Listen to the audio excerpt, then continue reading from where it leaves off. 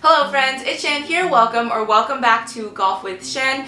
In today's video, we are going to be unboxing my very first putting mat. I am so excited. As you can see, I am back in Canada. It's snowing outside and I do have a few more videos to upload from Asia, but I wanted to get this video out in case you guys are still thinking of Christmas shopping for, you know, someone you know who golfs, maybe yourself, family, friend, Whoever it is, I wanted to share my new putting mat with you guys. It's not a sponsored or partnership video. I bought this putting mat off of Amazon during the Black Friday sale and yeah, I'm excited to unbox it for you guys. You guys will see my first impressions. And after I unbox it, I am also going to be sharing a few drills that I will be using to hopefully improve my putting stroke come the next golf season or the next time I get out of here.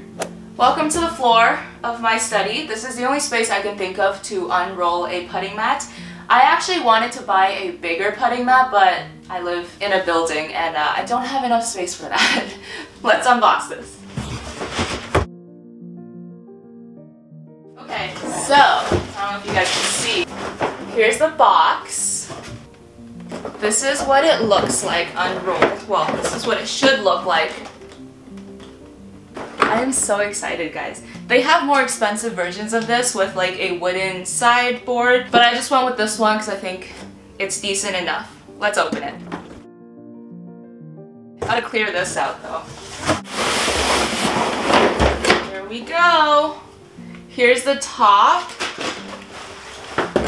Something that comes to mind is you have this like track for the ball to come back, but it is detachable. So my boyfriend and I are both going to be using this. He is left-handed because he used to play hockey left-handed. This is like obviously designed for someone who is right-handed as majority of people are. But if you are left-handed, you can remove these tracks and you can stand on the other side and still use this putting mat. Comes with three golf balls, no brand names, five of these track attachments, guys can see. So this is three meters long. I don't have three meters in here, but we're just gonna stretch it out as far as I can. Okay, so if you're attaching this, this little like loop-d area goes to the first attachment.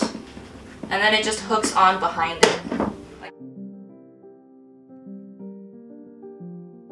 LOL. That's the reality of uh, not having enough space. Okay, so quick story time about how these putting drills came to be because I think it's kind of interesting. So some of you have been following my channel for a while. You know that earlier this year I was in China and I had to do the hotel quarantine for 21 days.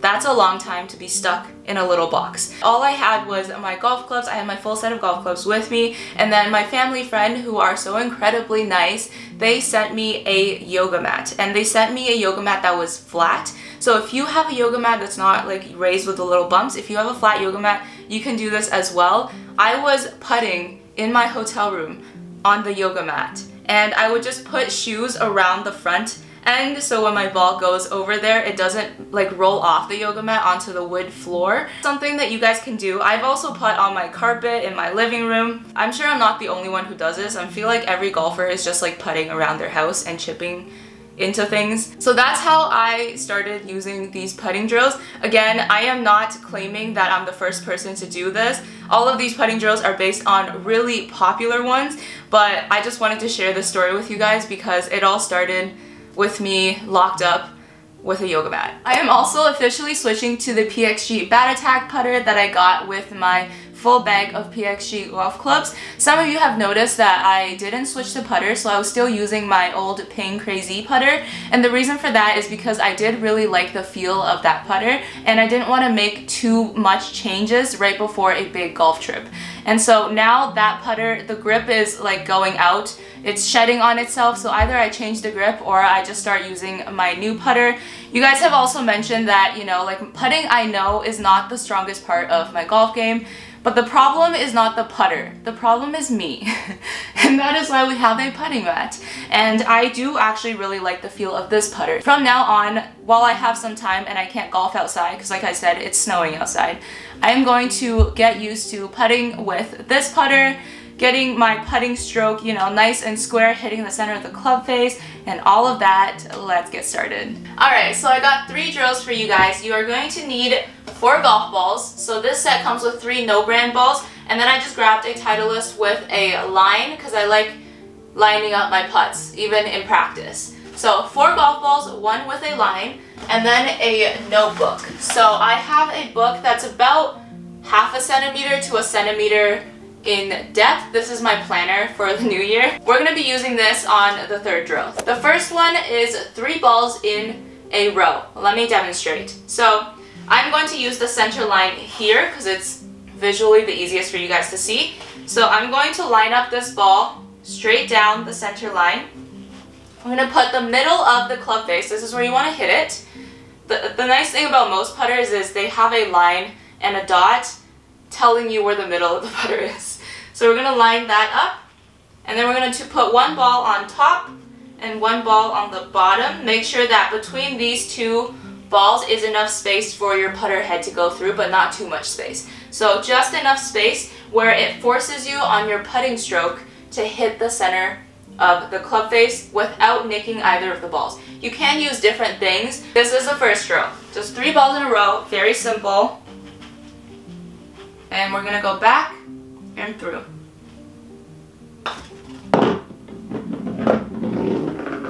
And the goal here is to not hit the top or the bottom ball.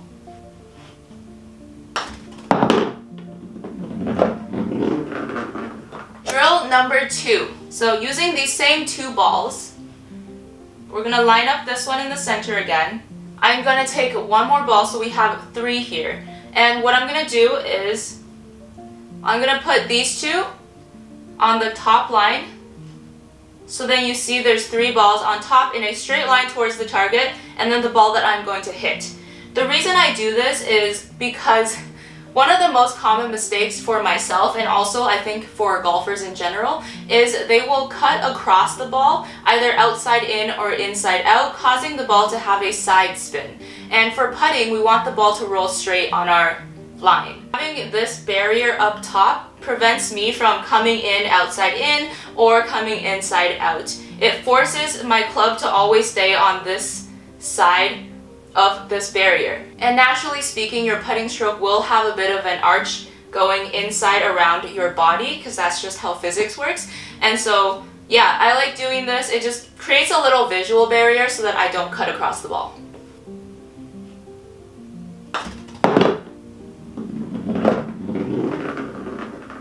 I like this little ball retriever track thing. Notice that these balls are like very close to the top of my putter, so I don't have them all the way out here. That doesn't really work as a visual barrier. I hit that one too hard. I'm trying to like keep it in frame. That's why I'm so close to the hole. I would probably practice down there, but moving on to drill number three. This is gonna be our last one, and I love doing this one. I think it's great for especially new golfers, beginner golfers. This is when we're gonna take our notebook. So again, take a very thin notebook. Don't grab like your thick book or grab something that's about like half a centimeter to a centimeter in thickness and we're gonna place it flat. Let's do the first one. So let's do this. We're gonna put this book right behind where you're gonna hit the ball.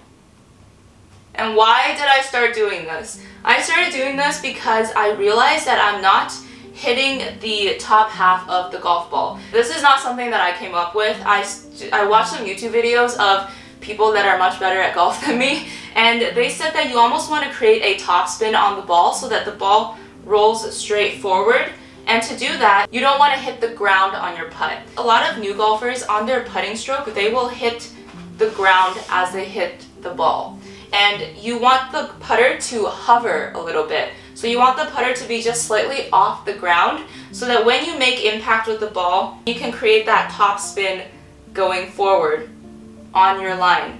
I'm not the expert, this is what I saw on the internet and this actually helps me a lot with making proper contact with the ball.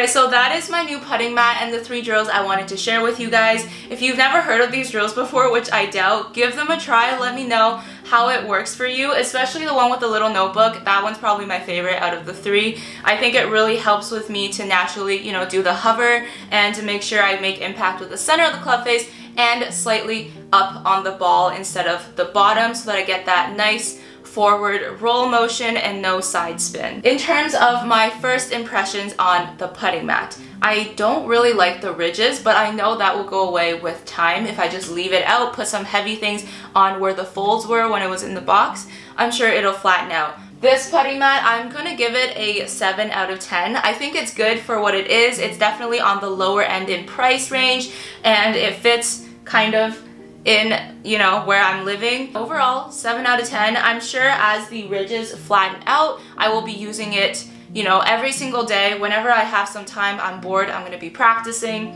One more thing before I end the video is that I am also going to be playing around with my putting grip. This is also something that I wanted to do, but I didn't want to make drastic changes before the golf trip. So now that I am here, I'm going to share with you guys what I plan to do. As you can see, I've been gripping it like normal, except not the interlock. This is how I grip my other clubs, but for putter, I just overlap. And this is what I've been doing. But when I was a junior, so when I played in tournaments in high school and when I played in OFSAA, I actually putted cross-handed. So I'm right-handed and I would have my left hand at the bottom and my right hand. And I would putt cross-handed like this. This is a very popular thing to do and it honestly helps with me cutting across the ball. It helps eliminate my right hand power. My right hand is the reason that sometimes the club face doesn't come in center. Having the cross hand is actually probably a really good idea and I want to try it. The reason that I've been hesitant to do it again is because I find that I don't get as good control of speed and distance with the cross hand because my left hand is the weaker hand. I'm right-handed. And so sometimes I don't know how hard to hit using my left hand and the back of my hand as the guide. But now that I have some time, I'm going to work on it. Maybe next golf season you guys are going to see me putt cross-handed. I am also going to try out some other ones since I have time. A common one is the claw grip where you hold it normal except you turn this hand over so you make like an L shape and then you flatten that out and then you kind of just do this. That also is another way of taking out your dominant hand of, you know, rotating the club face. The goal here is you want to use the back of your left hand as you're guiding and you're just going to hit flat towards your target with the back of your left hand or your if you're left-handed then right hand. Your non-dominant hand is going to be your leading and that's just going to keep your hand really steady, especially for shorter putts. Those are things that I'm going to be working on. Those are drills that I'm going to be using. This is my new putting mat. Thank you for watching this video. If you enjoyed it, make sure to hit that thumbs up button. If you haven't subscribed yet, you know, consider subscribing to this channel. I have a lot of golf and hopefully travel content again for you guys. Thank you for watching. I will see you in my next video. Bye!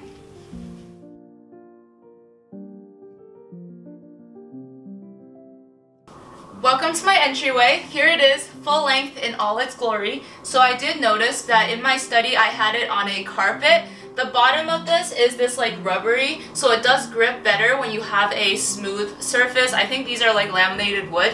So on here it does sit more flat and you can really push it down it does grip a lot better and it's a lot smoother. That's something to note, maybe put it on a flat surface.